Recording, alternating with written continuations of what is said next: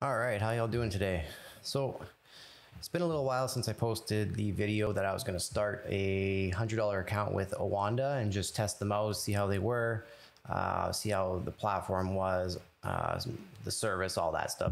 But it's been a little while since I posted anything after that. So I feel like it's uh, time to do an update. So that's what we're going to go over in this video. So first of all, um, I have stopped trading with Oanda. There's a few reasons why.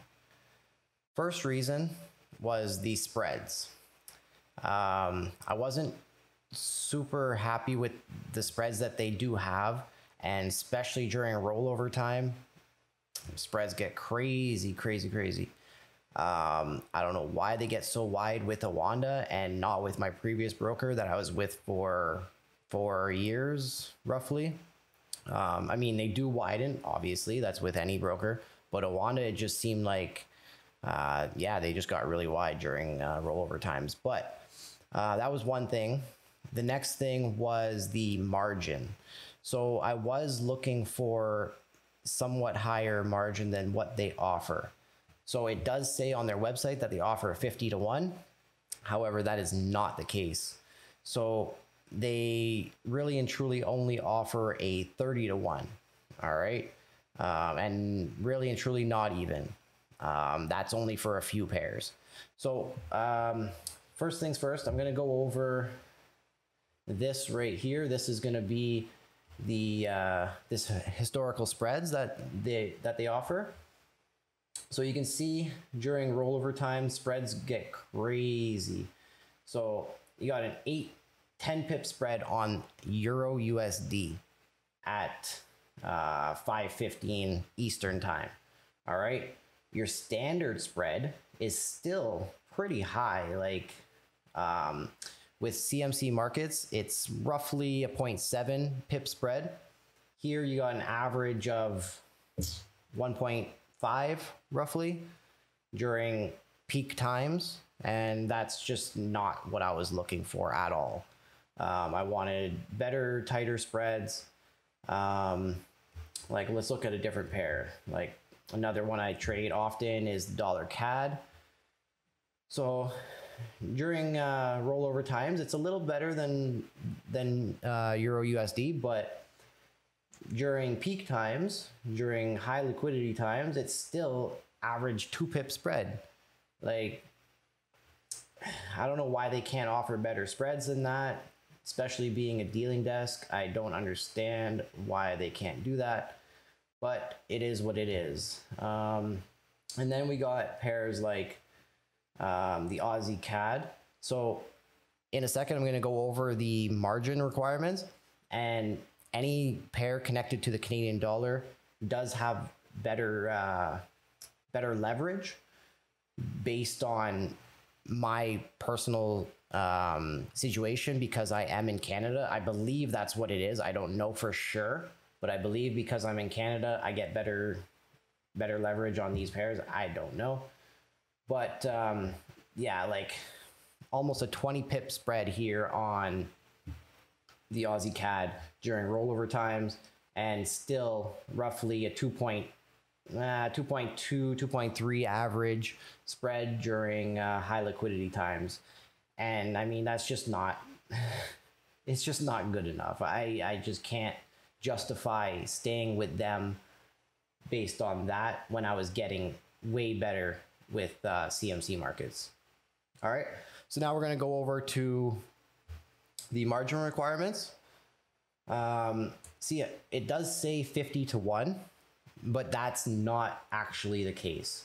So if I drop it down to 30 to 1, you'll see they do change.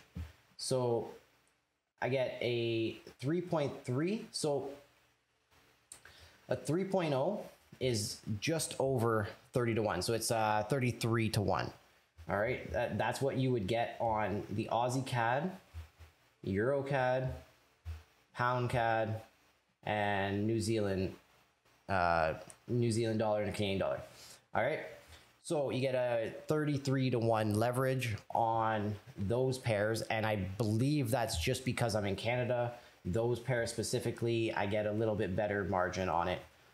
But um, basically anything more or any other pair than that, I'm getting worse spreads. All right. So you get a 4% on pound Swiss, um, even dollar CAD, which is one I trade quite often, the 3.5%.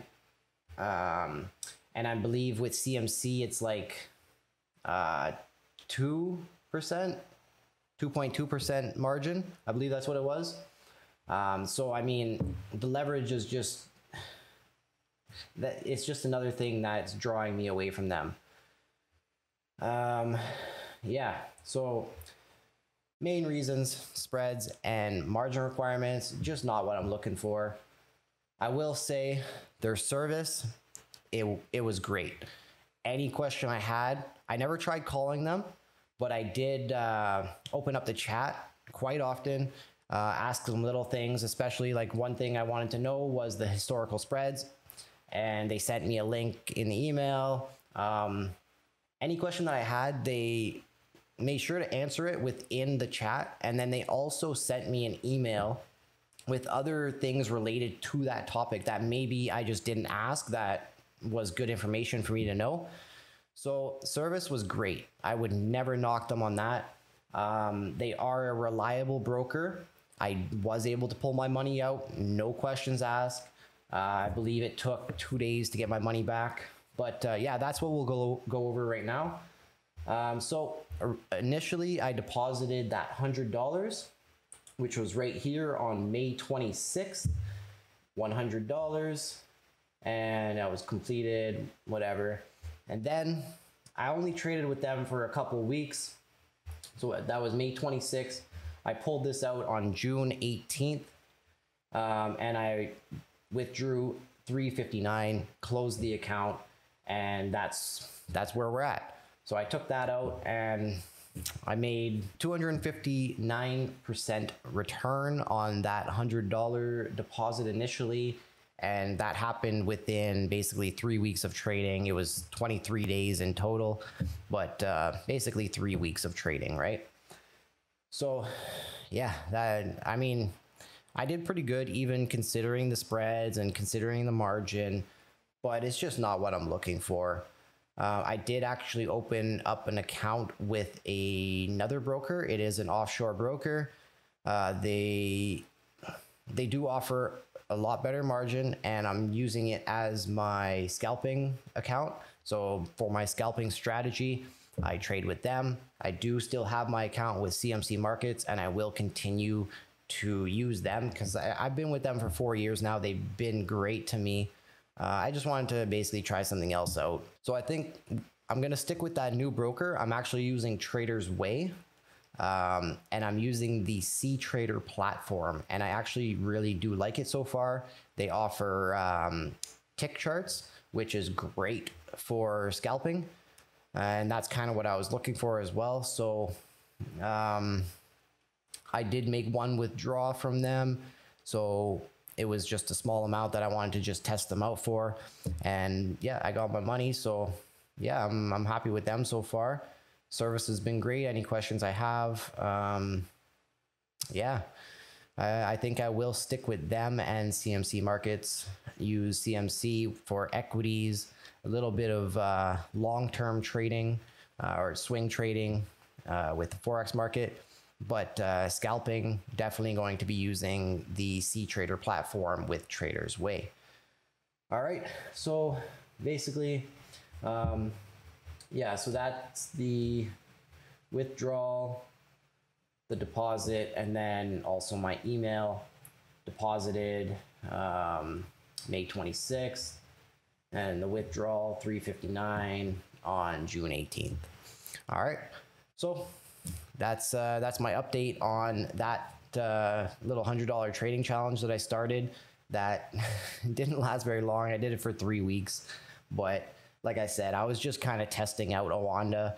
Just wanted to see what they were all about, and it's just not what I'm looking for. All right. So if you want to try them out, they're a great broker. Don't get me wrong. I would never give them a bad review. It's just personally not what I am looking for. All right. So if you are considering them, give them a try, see if uh, see if it works for you, and go from there. All right. Anyway, thanks for watching the video. If you liked it, give it a thumbs up. Uh, remember to subscribe to my channel for more videos. And uh, yeah, I'll see you in the next one. Take care.